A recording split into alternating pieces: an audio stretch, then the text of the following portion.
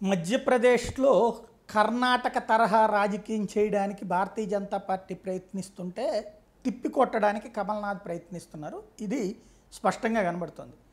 తాజాగా కాంగ్రెస్ పార్టీకి సంబంధించినటువంటి ఒక ఎమ్మెల్యే రాజీనామా చేయటం. ఇంకోవైపున దాదాపు పద్నాలుగు మంది ఎమ్మెల్యేలు టచ్లో ఉన్నారని చెప్తూ ఉండటం.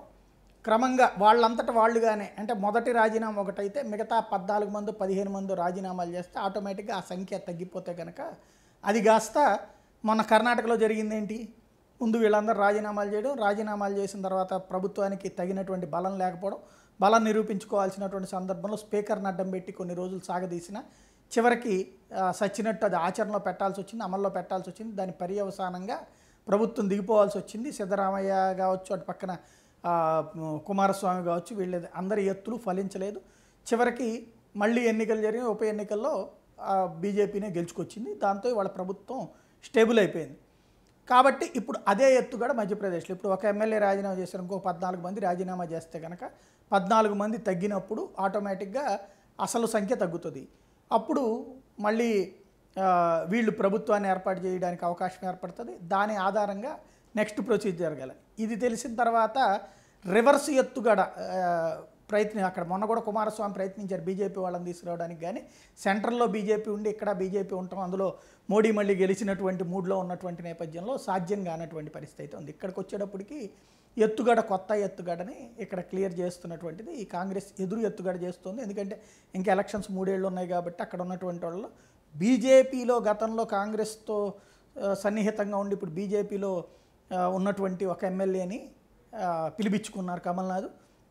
అంటే ఒకవేళ ఇటు పద్నాలుగు మంది తగ్గితే అటు కూడా ఓ పది మంది అరడజన మందో తగ్గించేటట్టు చేస్తే అటు బీజేపీకి కూడా అవకాశం ఉండదు అనేటువంటి ఎత్తుగడ. సరే ప్రభుత్వంలో కమల్నాథ్కి గనక ఏదన్నా క్రైసిస్ తీసుకొస్తే తను సీఎం అవ్వచ్చు అన్న దిగ్విజయ్ సింగ్ లెక్క. అదే సందర్భంలో సింధియా గ్రూప్ వీళ్ళు వీళ్ళు కొట్టుకు చేస్తే ఇద్దరి బదులు తన పేరు వస్తుంది అన్నటువంటిది సింధియా ఆలోచన సింధియా గ్రూప్ ఆలోచన కూడా. ఈ ముగ్గురి గొడవల నేపథ్యాన్ని బేస్ చేసుకుని ఇప్పుడు బీజేపీ ఎత్తుగడ వేసినటువంటి నేపథ్యంలో ముందు ఇక్కడ వీళ్ళ ముగ్గురు ఏకమవుతున్నారు. సరే సింధియా వర్గం ఇంకా ఏకం కాలేదు కానీ మిగతా ఇద్దరు ఏకమవుతున్నారు. దిగ్విజయ్ను కమల్నాథ్ కూడా కలిసి ఈ క్రైసిస్ని కంట్రోల్ చేయకపోతే కనుక తీవ్రంగా పరిగణిస్తానని రాహుల్ గాంధీ చెప్పినటువంటి నేపథ్యంలో ఈ మొత్తానికి సూత్రధారులు వీళ్ళ మధ్యన గొడవలే అని రాహుల్ గాంధీకి సింధియా ఇచ్చినటువంటి ఫీడ్బ్యాక్ ఉపయోగపడినటువంటిది దాని కారణంగా ఇప్పుడు వీళ్ళిద్దరూ కలిసి బీజేపీలో నుంచి కొంతమందిని యువతలకు లాగడం ద్వారా దీన్ని బ్యాలెన్స్ చేయడం. ఇటు పక్కన ఎంతమంది రాజీనామా చేస్తారు అటు పక్కన ఎంతమంది రాజీనామా చేస్తే ఇక్కడ బీజేపీ ఎందుకంటే దాదాపుగా ఒక పది పదకొండు సీట్లు ఎక్కువ ఉన్నాయి ఇప్పటికే. అలాంటప్పుడు పెద్ద ప్రాబ్లం ఉండదు. మెయిన్ దానికి తగ్గేటువంటి ఎంత ఉంటే అంతమంది నేతలు కనుక నలుగురు ఐదుగురు తగ్గించగలిగితే ఆటోమేటిక్గా బ్యాలెన్స్ అయిపోతూ ఉంటుంది కాబట్టి ఆ విధమైనటువంటి ఎత్తుగడకి అవసరమైతే ఎన్ని కోట్ల రూపాయలైనా ఖర్చు పెట్టడానికి కాంగ్రెస్ సిద్ధమవుతుంది కమల్నాథ్ సిద్ధమవుతున్నారు. ఏం జరుగుద్దో చూద్దాం.